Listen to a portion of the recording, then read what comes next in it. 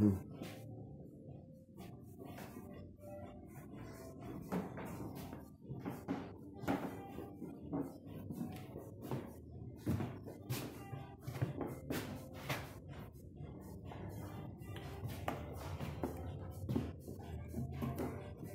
I'm surprised my battery life is still pretty good. I don't know what it is. I, I didn't bring my iPad along, so I